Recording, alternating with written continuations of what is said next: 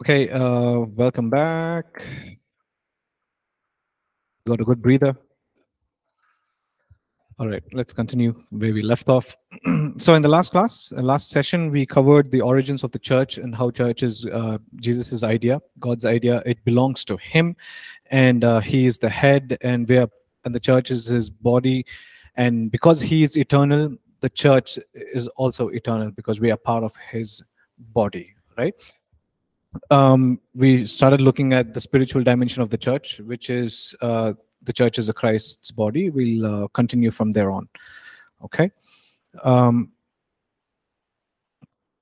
the section says the church is Christ's instrument to execute his purposes.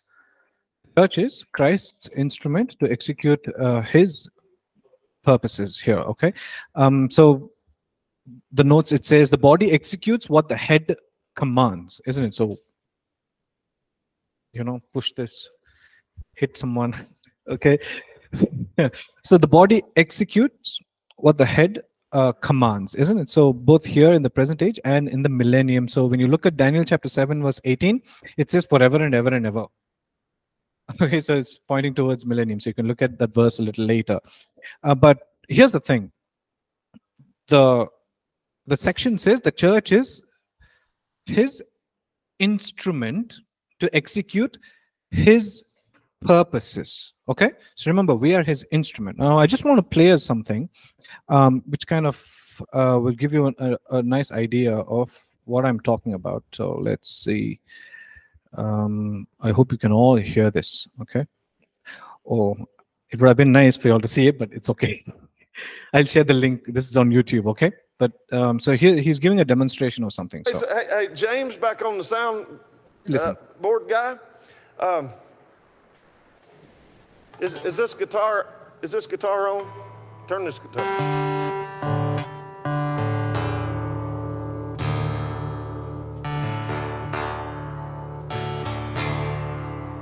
What I want to do, I want this guitar to be very loud in the house. And I want my voice, uh, you don't want the guitar real loud in that monitor, of course, because you'll get some feedback. But I want my voice very loud in this monitor. Okay, guitar loud in the house, voice loud in the monitor. Hallelujah. Oh, sorry, moved too close. Hallelujah. Holy Lord. Holy Lord. Ah. See, that guitar is responding to the sound of my voice. Holy, holy, holy, holy, holy, holy. okay, very quickly, can you all hear how the guitar is responding to the sound of his voice? yeah. Okay. Let's continue. holy. See, what it's doing is it's hearing the sound of my voice and it's saying, I agree. And the Lord is speaking to a generation and He's waiting for us to hear this sound of His voice and become instruments of worship. Did you know what I was talking about last night or this morning? When I was talking about the enemy, Satan himself, he didn't have to lead worship with a guitar, he was a guitar. And then we got his place. And now we become instruments of worship unto a holy God. Because we hear the sound of his voice, come into agreement with it. Holy, holy, holy, holy,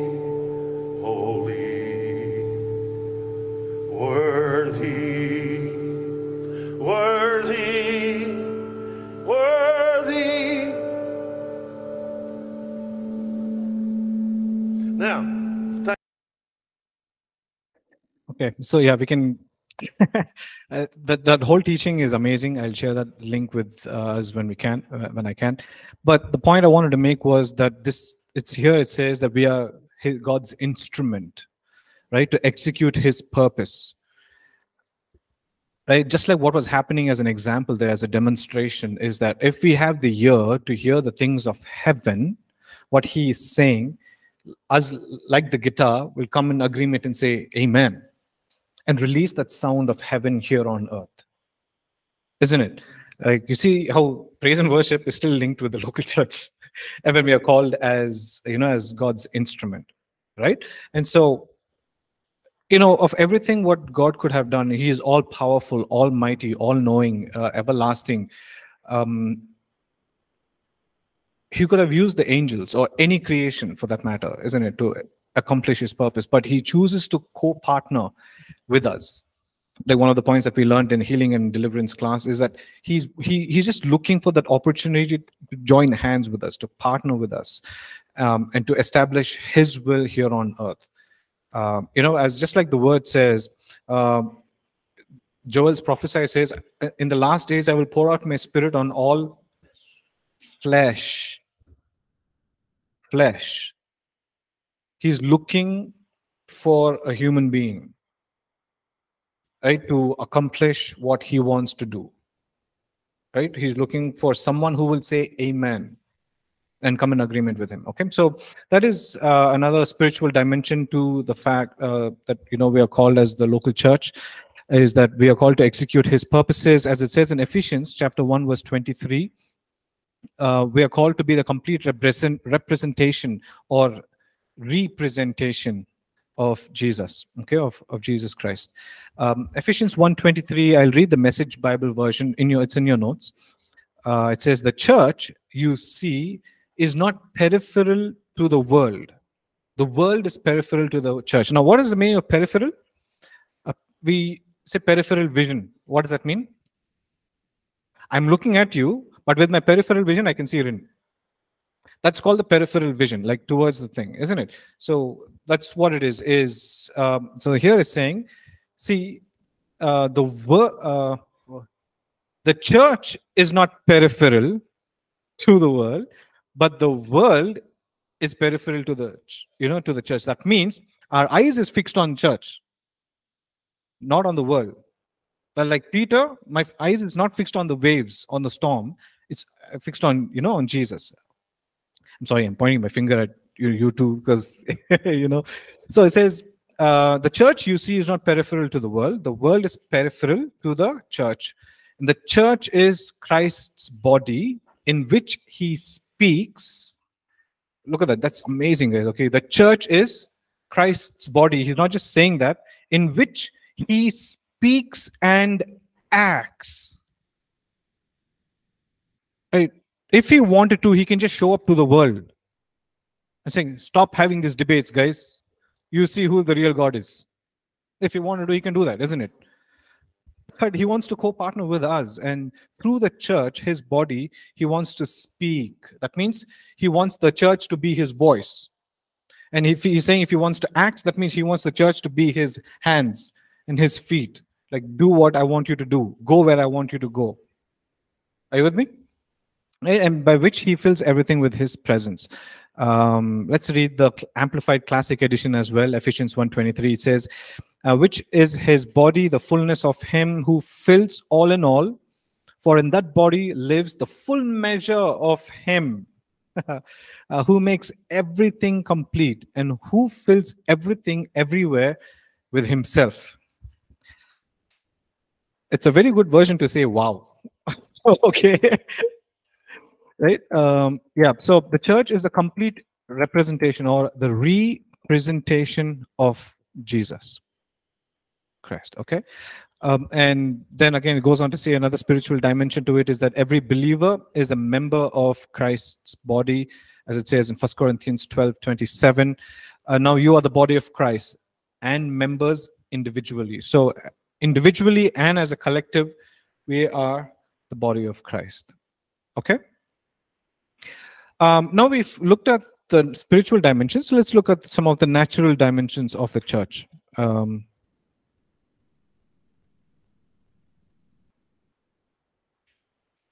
natural dimensions it simply means the tangibles okay anything that is natural means okay anything that you can see touch feel is what we would call it as natural right everything that is of the other kingdom we call it as supernatural which is natural in that kingdom. Okay, but uh, the natural dimensions of the church that means the tangibles, the things that you can see and hear and feel. Okay, so let's look at those dimensions of the church. Um, so First Timothy chapter 3, verse 14 and 15. Paul is writing to Timothy, who is the overseer of the church in Ephesus. Right? Timothy is overseeing, he's one of the leaders uh, at this time uh, before he becomes an elder and a pastor. In other words, um, Paul, Paul is writing to Timothy in First Timothy chapter 3, verse 14 and 15. Um, these things I write to you that I hope to come to you shortly. Uh, now, this chapter, you know, if if you go to any church website, if you go to their employment page, uh, if they have an employment page, or if they are hiring a pastor and whatnot, um, let's just say, for example, so and so church is looking for an associate pastor. Uh, the requirements are he should have a heart according to First Timothy chapter three. So all of this will be mentioned. Okay, so it's like, yeah, guys. Okay. uh, he's saying in verse 14, These things I write to you, though I hope to come to you shortly. But if I am delayed, I write so that you may know how you ought to conduct yourself in the house of God, which is the church of the living God, the pillar and the ground of the truth. Now, eventually, we're going to look and focus on all those words separately. But um, you see, the choice of words that Apostle Paul is choosing uh, to say to refer to the house of God, uh, church is the house of God. Okay, and hence the publication. Okay, the name is titled "House of God," uh, "Household of God," "Household of Faith." Um, is all used as synonyms. It's you know as alternative to the local church, basically. So when you say the local church, I'm saying it's the house of God. I'm saying it's the household of God, uh, right? It's uh, house of God means that means that's where God kind of dwells. Yes, no, maybe. Okay. okay, so look at Ephesians chapter 2, verse 19, and Galatians chapter 6, verse 10. They're all in the notes. Um, let's just give a quick glance at it. Ephesians 2 19, it says, Now therefore, you are no longer strangers and foreigners. Okay. I've said this many times. Anytime you see the word therefore, you need to ask yourself, why is it therefore? Okay, that means you have to go and read chapter 2 from verse 1 to 18.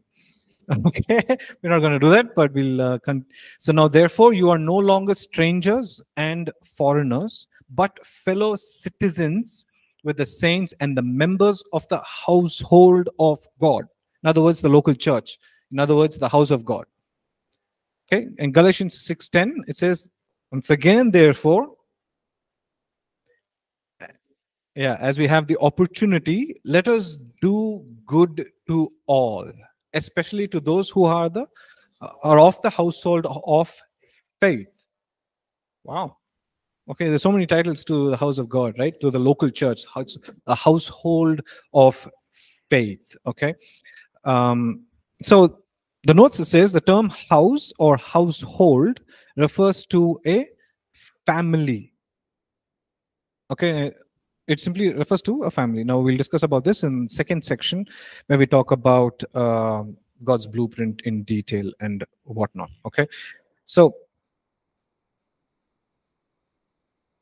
uh, let me just ask this question: uh, Is it important for us to be part of a local church? What would be some of the reasons some individuals are not part of the local church?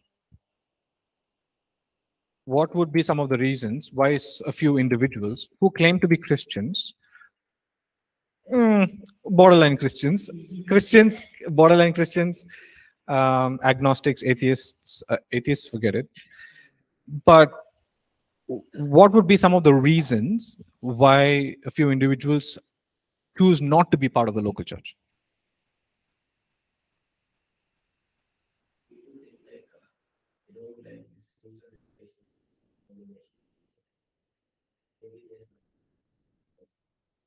They don't like rules and regulations. So they don't like to come under the supervision, or in other words they don't like to come under the leadership or uh, they don't like to come under the authority.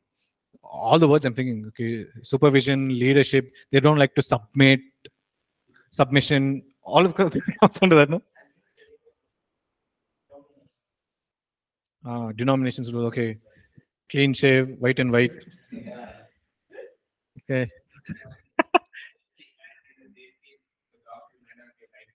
The doctrine the doctrine might not be right for them. Okay, of a local church. Okay. What do you guys think? Sorry, lazy. The nail on the head. Like who's going to get a brush? One day leave I get. Six days I work. For 18 hours I work. you know. Well, some of them go to the evening church, but they go no. my point is, my question is, okay, why do they don't want to be part of a local church? Challenges the lifestyle. Simply, they they want comfortable, isn't it? They don't have a love for Jesus. Some people go for work on Sunday. Some people go for work on Sunday. Okay. Uh, Nina says the significance or the importance of uh, is lost of being part of his body. Okay. Yeah. Okay. Um, some of them, let's say, experience, some of them might be offended or hurt by the church. Yeah. Like, okay, because I don't like the way that this church treated me, so I'm not going to believe in Christianity. Is a possibility. That is the reason why some, some of them would not want to be part of a local church. It's like uh, hypocrites, hypocrites, you know, Christians. Uh, Christians are, was, are supposed to be known for their unconditional love and extravagant love, but uh, no, they are not. a bunch of judgmental people. Uh, universally, Christians are not known for that, isn't it? We should be. If we are, if uh, if we are the exact representation of how Jesus is uh, called us to be, the whole world be evangelized, isn't it? Some of our church names are bigger than uh, and longer than you know. I don't know. okay, just not go there. Okay, the church of so da, da, da, da, da, da, da, da, da, some more names to the church, and full India will be evangelized. You know, so. Uh, but yeah, so what are some of the reasons that can you think of that everything that you've said? Yeah. Okay, fear.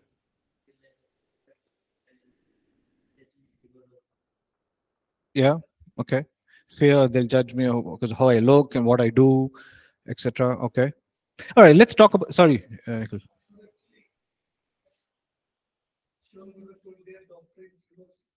Right. One of the local pastor is preaching. right He has something like we did, anything like anything. Hmm. So people will think he he's doing like this, and what he will teach us. So some local uh, people used to think like this. okay If he's uh, like uh, uh, he's doing this, and he's teaching us, if he's not able to uh, apply these things, right and what he will teach us, what he will. Uh, so so not leading by example in other Ah. words okay the leader of the church is not leading by example okay so you- you're you're not uh, walking the talk. In other words as i say right? You're just talking. Practice what you practice what you preach. There used to be an old uh, sunday school song. I'm not sure if you know this but your walk talks and your talk talks but your walk talks louder than your talk talks. Have you heard of it? Yes my your walk not in darkness. Okay. But it's, it's a lovely song. See, I, I i sang this in like my sunday school and i still remember it. Your walk talks and your talk talks but your walk talks louder than your talk talks. Um and so one of i forget this person but uh the name of this person because very complicated name. He said the greatest form uh, of influence is example. It's not one of the form of uh, uh, influence. It is the only form of influence the, the greatest form of influence is example. Um, so you you say you want to influence. As leaders as church we want to influence people. As as a father uh, you know as a as a son daughter whatever. Um, or let's just say as, as a parent for example if when i when i read that quote that's my first thought went to you know that's the thing. Is like uh, the only the greatest form of influence is example. And so uh, it's so dangerous living with my son. Because i will do a 99 good things. I will do one wrong thing. And he'll happen to notice only that. You know? And uh, so is this is this crazy isn't it? So um we are called to represent Jesus as a local church uh, and whatnot. So uh, the notes it says, why should you be part of a local church? Um, a couple of points. I just don't want to go through the whole thing. It says it, it is within the local church that you you and I live out of membership in Christ's spiritual body, which is the church. Right? It is in the church that we grow spiritually in our maturity uh, and whatnot. So that way you look at it is very important to be part of a local church like to be part of a community where you are strengthened and equipped and empowered where god's word is taught uh, without compromise isn't it? Um, right? So it's important that way to be part of a local church. Um, you, I mean, your motivations and in, your intentions can be questions, will be questioned. Are you going to be part of a local church simply because you want uh, a space in the burial ground when you pass away, or you can have access to the church when you get married? Uh, you know, sometimes that's exactly what happens. Eh, yeah, yeah. So, you know, um, there can be certain benefits of being part of the local church. Now, are you part of a local church for the benefits you get from them? Or you are just part of the local church because you love Jesus and because you are growing spiritually, right? So that's where we go, we grow spiritually uh, and uh, in our maturity example, right? And so when we say that we are the body of Christ, parts of our body are not flying around, floating somewhere, you know, it's like the head is somewhere, the hand is somewhere, the leg is somewhere. Uh, it's, it's a very weird image, isn't it? yeah, it's not a very pleasant. So but we all function together. He is the head, he speaks, we obey. And that's why it's very important for us to come together. And I think God made that point very clear when he said that it is not good for man to be alone. Right? In his intention. So, and from the beginning, and I've said this so many times from Genesis to Revelation, one of the things that he keeps saying, repeating uh, book after book after book, is that I will be your God and you will be my individual you will be my people. You will be my people. You will be my people. And the last chapter, why does last chapter of the Bible in Revelation 22, it finishes with the city, God talking about a city. It's a collective thing, isn't it? Right? And uh, even about when you talk about the life of Jonah, the only thing we think about is uh, the whale, uh, fish, whatever, and three days that he was in the belly. But the last verse of that chapter says, Should I not have compassion on this great city? And city is made of what? All of you are listening and awake. Okay. So yes, it is made of people, exactly. Um, so his heart is always for the people. And uh, in you know, and that's why it's important for us us as a church to come together in unity and understand all this truth about the beauty of the church and the wonder of the church and be his instrument. Are you with me? Yeah, okay. So now uh, let's move on to the next chapter. Um, I'm skipping a lot of things because it's all go through it when you can. Um, the second chapter talks about the purpose of the local church, its mission, message, and methods. Um, in chapter one, we looked at the origin and its spiritual and the natural dimensions of it. Um, so here in this chapter, we look at the purpose of the local church. Um, it has three purposes, three simple basic purposes. Now remember, again, when we started off the session, I did not say that I'm going to give you a bunch of steps. Uh, this course is not about giving you a bunch of methods, 10 methods or techniques or skills, but it's about the heart of God, what the Bible has to say about it, isn't it? So uh, according to the word of God, the purpose of the local church, one is its mission. So, what is its mission? I look at Matthew chapter 28, verse 18 to 20. It says, And Jesus came and spoke to them and saying, All authority has been given to me. You see from Matthew 16 to Matthew 28 how the language changes now when it comes to authority, right? Has been given to me in heaven and on earth. So now it says, Go therefore and make disciples of all the nations, baptizing them in the name of the Father and of the Son and of the Holy Spirit, teaching them to observe, another translation would say obey, teaching them to obey all things that I have commanded you. I am with you always, even to the end of the age. Now, all he's saying is now, okay, Jesus has won the victory. He's saying, All authority has been given to me in heaven and on earth. Okay. And now then he says, Therefore, go and make disciples of all nations, baptizing them. Um, the, point, the key point here is he says, Go and make disciples.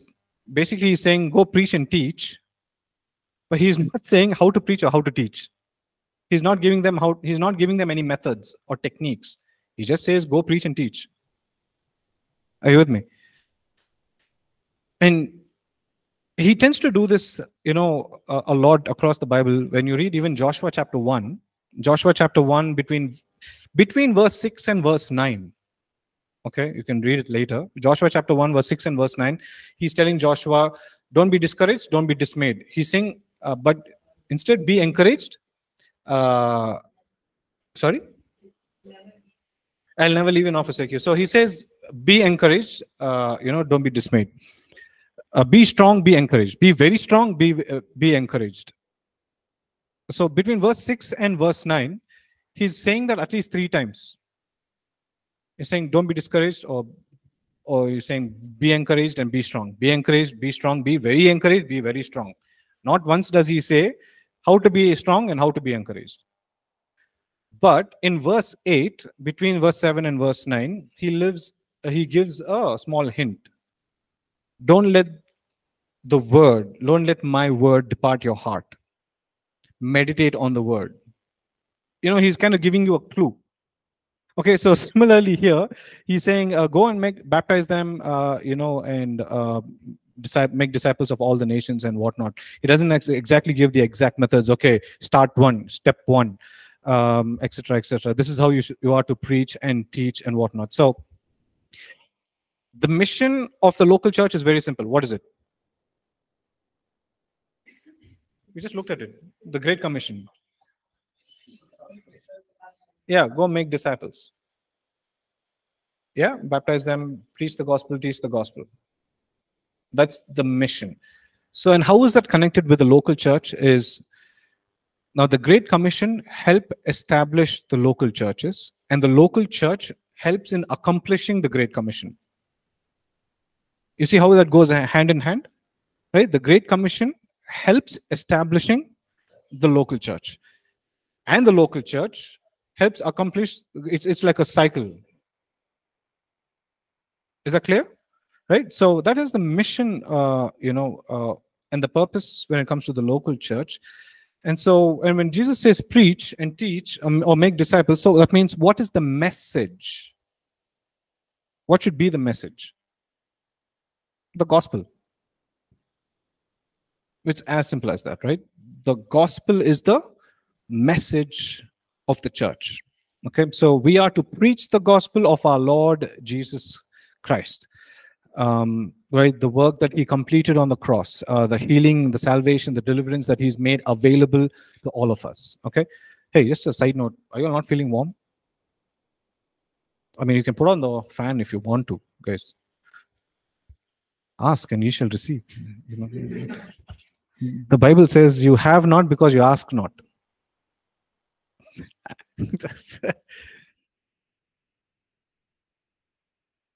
Hey, how's everybody online doing? All, all okay? Uh, Samuel, uh, Ravli, Prabhu, Nina.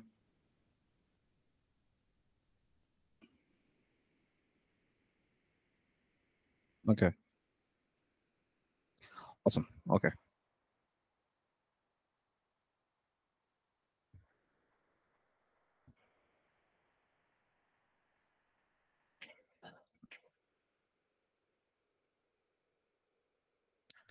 Okay, so what should be the message of the local church? That's where we are at. Is is the gospel of Jesus, uh, declaring what He has done, uh, the message of the cross.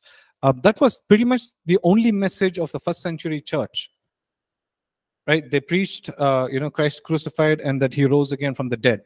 Right? Uh, that was the only message. Like um, now, somewhere along the way, uh, we've kind of seemed to have lost the wonder of it, of that message of the gospel.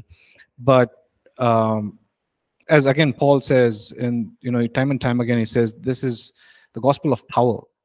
you, you we don't need to add anything to it or subtract anything from it right it is powerful enough so he's encouraging us to preach the gospel and that is the purpose um, you know of the local church and then he also says that preach the whole counsel uh, of god so uh, it's in your notes And if you're looking at pdf or wait in your hard copy where are we? Page 16 at the bottom it says as ministers we are to preach uh, teach and proclaim the whole counsel of god. So that means the, the whole counsel simply refers to sound doctrine. Nickel doctrine right? So we, we said some of the reasons can be the doctrine of the church and whatnot. So here's saying uh, preach the whole counsel of god. Preach and teach the whole counsel of god. So it simply means don't just preach grace, grace, grace, grace, grace, grace, grace. Now, if you preach just about grace and miss out, and you don't preach about truth, you're missing out on the whole counsel, right? And if you don't teach about, let's say, if you're only teaching about the truth and you just leave, you don't talk about the holiness of God or you don't talk about any other different aspects of God. Uh, how about He's faithful, He's merciful, so many other things, isn't it? so what we are encouraged here to do is to preach and teach the whole counsel of god everything about who he is needs to be taught don't get caught up in just one thing uh, and that's what people need to hear everything about who he is isn't it? Um, so um, i mean I'll, I'll, let you all go through the bible verses there that is mentioned in your notes. I don't want to go through it. Um, and so, what that will do is when you're preaching and teaching the whole counsel of God, that will guard you from every false doctrine. Now, because now let's say you focus on just one topic, like you know, it is it's like like the horse, no, like you're just fixed on one thing, and and you might leave out everything else, isn't it? Why is that important? Because another attribute or, or another aspect can validate another aspect right now the truth can validate what the uh, what the grace of god is now when you're speaking only about grace of god you might miss out some of the truth that can support this so it's very important to go back and forth um, and so that will protect you from all the other uh, false doctrine isn't it um, so when people understand the truth they will be able to identify the error and stay away from it um, so you all know how people identify fake currencies, right? How do they identify fake currencies?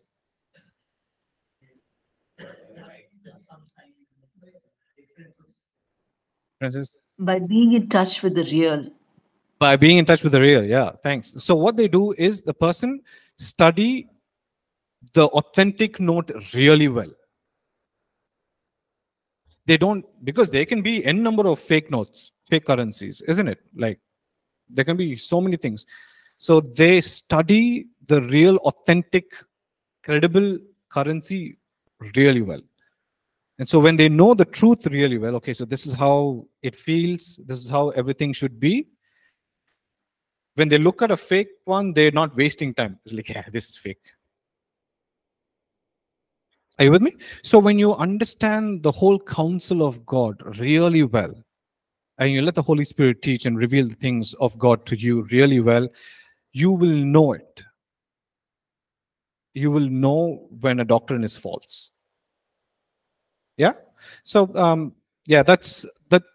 Um, we are to preach and teach the gospel. We are to preach and teach the whole counsel of God, and that will help us uh, identify false doctrines and whatnot. Okay, so we have the mission, we have the message, and then finally, we'll talk about the methods. Okay. so the methods we must be uh, we, we use must be aligned to the standards and the directives set forth in the word of God. Um, you know, you might be like, okay, hey, Roshan, I thought we're not going to discuss about methods. Uh, you know, we are not we're simply looking at what the word of god has to say okay uh, the word of god says uh, our methods must be pure in other words it shouldn't be impure or we shouldn't deceive or mani manipulate god's word for our own benefit Okay, we must not use deceit or manipulation to achieve our objectives. Now, the objectives can be anything. I want to be all-knowing or all-powerful in the south, uh, you know, of Karnataka. I want to be the richest pastor, or the, my ministry should be famous.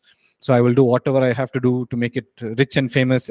You know, um, I was making taking a class for the final years on worship ministry, and I was just telling them how worship ministry is a priesthood and how worship ministry has now become an industry. Right? Uh, and so ministry in general in a, in a sense it's lost that essence that it's a priesthood guys. It's only about serving it's not about fame or gain or to make your name known your name famous. It's not about that. It, but somewhere along the way we have lost right? The blueprint of god has become peripheral for us and the world has become the main focus. Isn't it? The who? The k-love awards. Okay. I've heard of it. Yeah but uh, yeah, yeah. essentially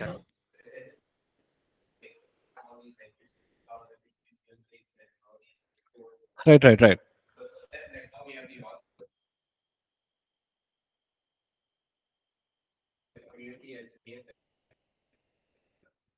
Right, right. Yeah, uh, as in we'll learn more about that in worship ministry next year. About uh, what do you what do you think about awards and whatnot? We'll not discuss about it now. But in general, uh, the point here is that our intentions, our motives should be pure. That's the point here, right? Our methods in methods. He doesn't say what methods you should be using, but whatever you choose to do, that should be pure, right? Is it acceptable unto God? That should be the question, isn't it? The we, I mean, it's so important all the time for us to get the question right. We need to know how to ask the right questions, okay? Because um, there was a time. So I was uh, helping out a ministry called Face to Face uh, long back, and uh, I mean, still friends with them.